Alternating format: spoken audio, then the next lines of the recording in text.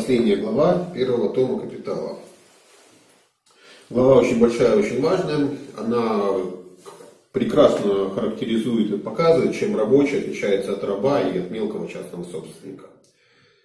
А, кто прочитает эту главу, эти два разных, три разных понятия путать никогда больше не будет.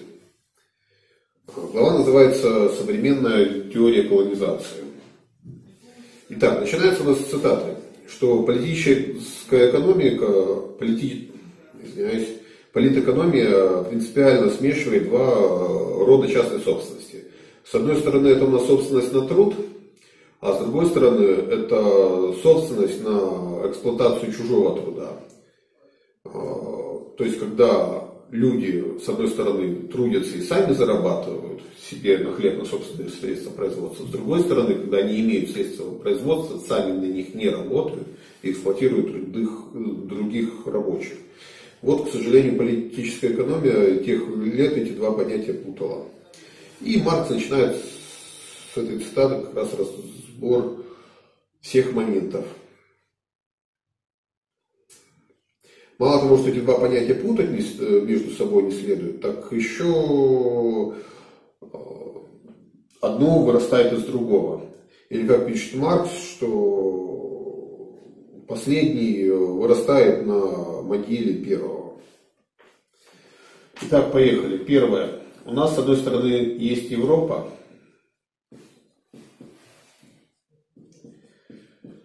В Европе на тот момент, 150 лет назад, да, первоначальное накопление капитала закончилось, там уже был полностью построен капитализм. Более-менее в целом во всей Европе, да, там за редкими исключениями, но в целом мы рассматриваем Европу как капиталистическую. С другой стороны, у нас есть колонии. Вот, а в колониях все гораздо интереснее. Там по факту на тот момент был феодализм, а кое-где даже еще и первобытное общинное общество. Феодализм плюс неэлит.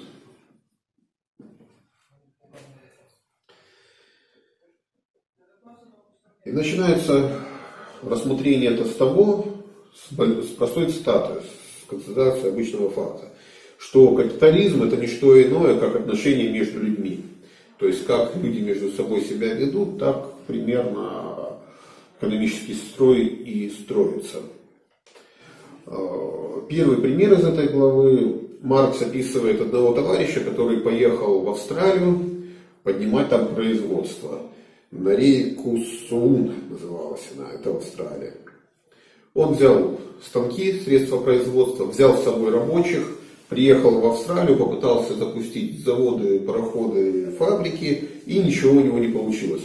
Все рабочие, которых он привез, тупо взяли и разбежались. И работать на него за ничтожную зарплату никто не стал. Почему это было возможно? Дело в том, что в Австралии в то время было много свободной земли, никем не занятой, и, соответственно, люди могли прокормить себя собственным трудом на собственных средствах производства, то есть в частном случае у нас на земле. До этого там был неолит, да, австралийские аборигены, они жили, грубо говоря, в каменном веке, производящего хозяйства не имели. А тут, пожалуйста, там, где на абориген ходят, собирают корешки, убивают кенгуру, можно спокойно 10 человек прожить, которые будут вести скотоводством заниматься, да, баранов пасти. Или, может быть, 100 человек спокойно жить на той же самой территории, если они будут выращивать растения и заниматься сельским хозяйством. Так наш горе-капиталист, английский, попавший в Австралию, оказался перед фактом того, что у него есть средства производства, у него есть деньги, но нету рабочих. Если нету рабочих, то ему некому эксплуатировать, и, соответственно, никто не может зарабатывать ему прибыль, на имеющихся у него станках. Там есть даже такая красноречивая цитата о том, что когда он туда приехал, у него даже слуг не осталось, даже слуги все разбежались, и тупо ему воды некому было налить, подать, потому что все кинулись зарабатывать сами на себя. То есть, опять же, современная идея всех наших либертарианцев, да, что вот буду работать сам на себя, никому ничего не должен, никакому дяде. Итак, мы как раз из этого примера хорошо, прекрасно видим иллюстрацию того, что капитализм это не просто станки, да, если это производство, это отношения между людьми. Если отношений между людьми нет, если нет людей, которые будут работать на станках, то и капитализма никакого не получится. Из этого ситуации выходит такая неприятная э, складывается такая ситуация неприятная, что если нельзя найти свободных рабочих, которые будут работать на средствах производства, то этих рабочих надо заставлять работать на твоих средствах производства, средствах производства, то есть мы занимаемся не наймом вольных рабочих, мы привозим туда рабов.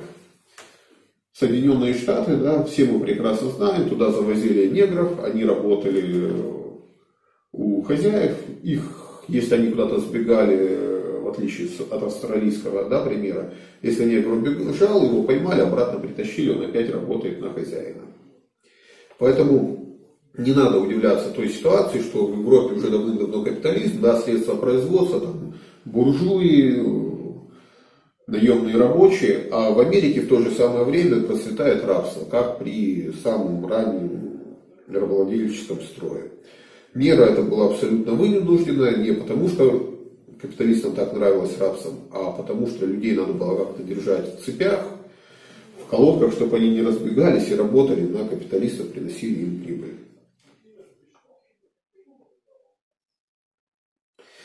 Другая проблема с колониями. Да, в колониях не было рынка сбыта. То есть, если мы берем Австралию, где наши приехавшие наемные работники разбежались, или в Америке та же самая ситуация, что они делают? Он построил ферму, он там выращивает скот, занимается сельским хозяйством, полностью себя обеспечивает. Одежда своя, что ты вырастил, э, еда своя, все, что ты сделал.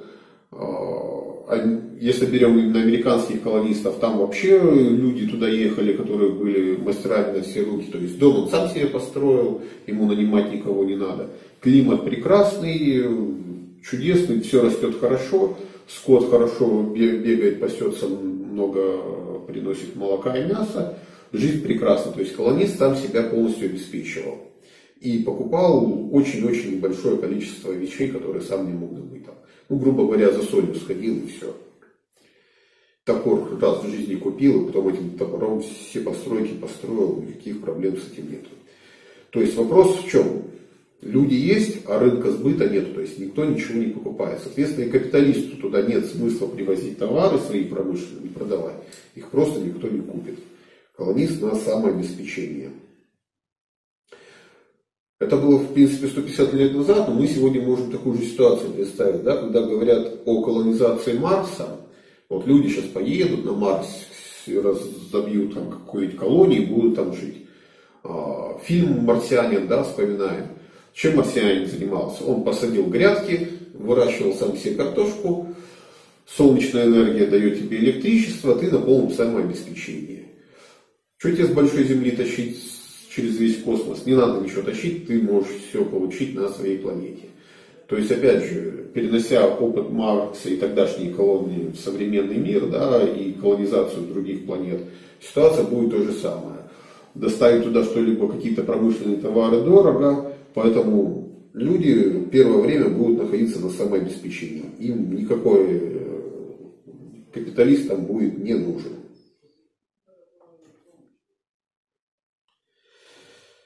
Тут же очень интересный момент есть по поводу фермеров, которые в Соединенных Штатах у нас до сих пор существуют. Да? Благодаря хорошему климату, благодаря большому количеству земли, опять же напоминаю, да, первые колонисты получали землю бесплатно. Вот ты себе захватил участок, сколько ты смог, так сказать, отхапать. Застолбил? Застолбил, да, столбики поставил, все, это твой участок, у тебя земля, она тебя кормит. То есть поэтому на этой земле можно много-много-много поколений жить, и спокойно этот участок твой, ты не разоришься.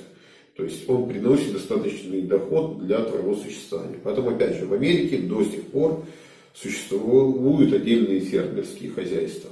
Люди там живут.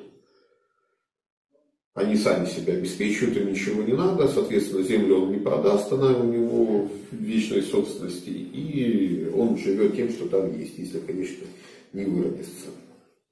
Если нефть найдут, то он еще богатеет. Да, да, да. Нефть опять же. Но опять же, если найдут нефть, там сразу очень много желающих будет из своей земли согнать разными способами. Опять же, много американских фильмов вспоминаем, да, как они там называются, да.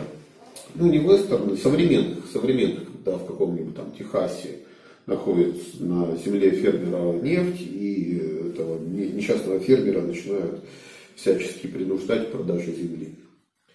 Сейчас в голову, честно, ничего не лезет. Может, сами потом вспомните. Хайло Уотер там Не помню, честно. Несколько фильмов было, ни одно название в голову не лезет. А, итак, фермеры, да. А, опять же, сравнивая Европу и колонии, какие у нас появляются ситуации. С одной стороны, европейская какая страна, государство, типа Англии, да, у нее есть национальные богатства, там, национальные, э, именно английские капиталисты, которые владеют огромной там, железнодорожной сетью разветвленной. Это национальное богатство. Да? Какой-нибудь там Америка в то время, когда, э, которая была колония, там нет никакого национального богатства. Там, во-первых, колонисты все разные, с разных стран. Нет там небольших железных дорог, ни каких-то огромных предприятий. Они живут сами себе, то есть никаких, в принципе, богатств у них нету. Что там у отдельного фермера? Две козы до корова ты берешь, ну и лук, ну, собственно, какое-то богатство, никакое. Вот. Им замечательная цитата тут из Маркса, опять же, что национальные богатства у нас тождественны народной бедности.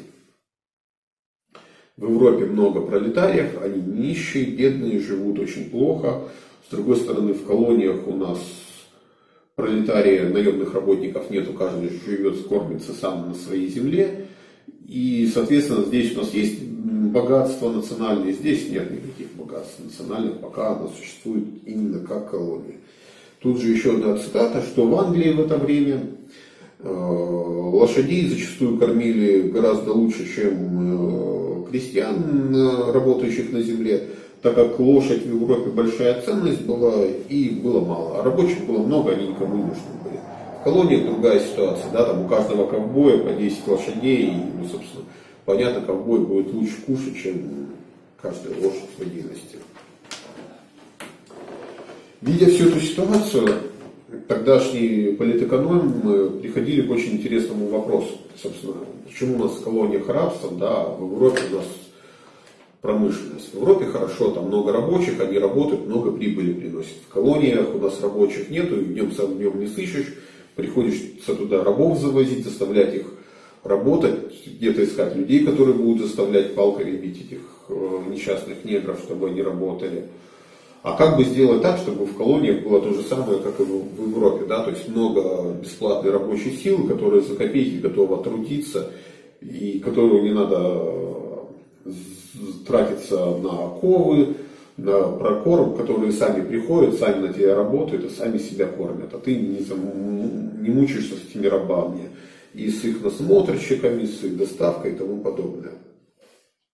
Какие тогда принимали меры? Ну, первое это законодательно. Да, то есть законы специально вводили такие, чтобы свободный колонист не мог получить землю в собственность, ее искусственно завышали стоимость на нее, то есть э, всячески законодатели строили препоны для приезжающих в колонии, чтобы они занимались не самостоятельным трудом, а работали на капиталистов. Э, это первая мера. Вторая мера – это ограниченность земли. Да? Какие бы э, Соединенные Штаты не были огромными по территории, но быстро-быстро-быстро все колонисты застолбили всю землю, и вся земля была потеряна. То есть земля закончилась, но колонистам некуда а, пристраиваться, то есть он приехал в страну, он бы рад кусок земли получить, иначе там скот выращивать или земледелием заниматься, или еще что-либо делать.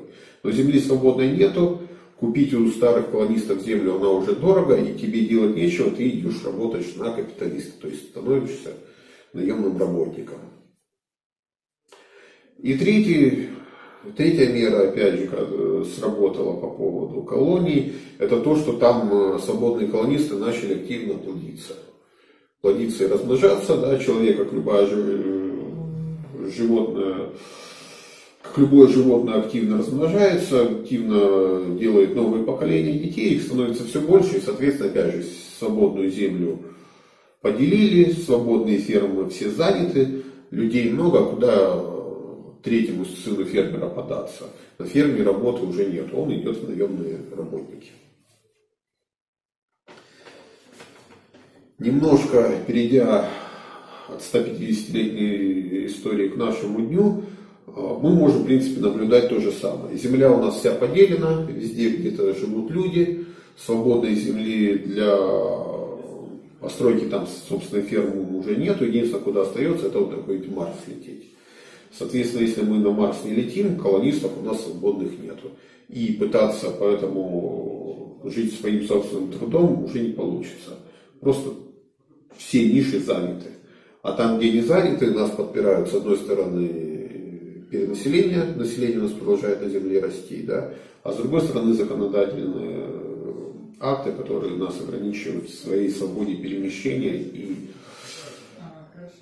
свободе предпринимательства. Да, опять же, попробуйте сейчас съездить в ту же Австралию и там где-нибудь разбить ферму. Там начнется вам надо вид на жительство, выезд и тому подобное. То есть с колонизацией все очень туго. Поэтому могу всем желающим предложить написать по этой главе статью, переработать ее на сегодняшний день. Да, то есть, как колонизация проходила 150 лет назад и как она, допустим, происходит сейчас. Можно взять много разных примеров. Да. Вот Советский Союз у нас был разрушен, население упало, земля освободилась, есть куда ехать, есть куда колонизироваться, есть у нас примеры фермеров. Да. А, какие-нибудь староверы в Приморский край приезжают с Южной Америки. Вот, пожалуйста, можно эту главу переначить на современный лад и получится отличная статья. Дарю идею бесплатно, все желающие могут взять. Только 50% твои, да? Идею. 150, я, я возьму по-божески всего 25.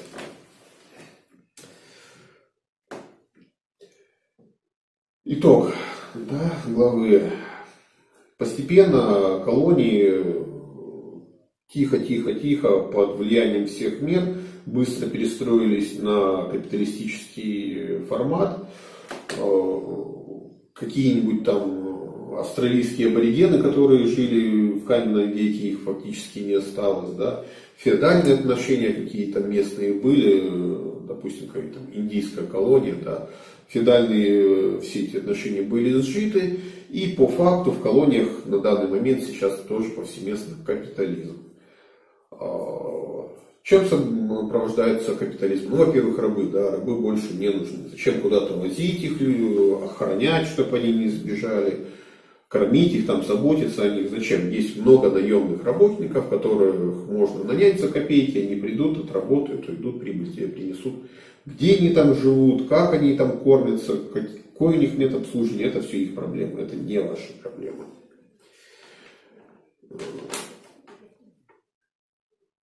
Ну и свободные, соответственно, люди, которые работали на собственных средствах производства, жили собственным трудом, опять же, они были вытеснены капиталистами.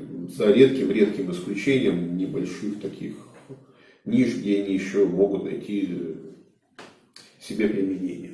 Потому что в современном мире очень сложно жить э, натуральным хозяйством, да, все-таки хочется интернет, электричество, все это надо где-то покупать, э, даже солнечные батареи надо где-то покупать, ты обращаешься к капиталисту, чтобы у него это купить, надо, соответственно, что-то продать, чтобы что-то с фермы продать, ты должен конкурировать с этим же капиталистом, который продает товары гораздо дешевле, поэтому что феодализм, что каменный век, они по факту уже закончились в колониях, и уже во время Маркса изживали из себя.